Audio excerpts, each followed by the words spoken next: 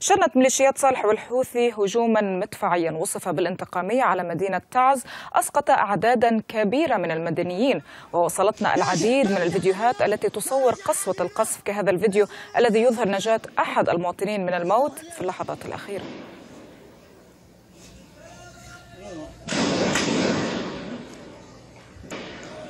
Thank you.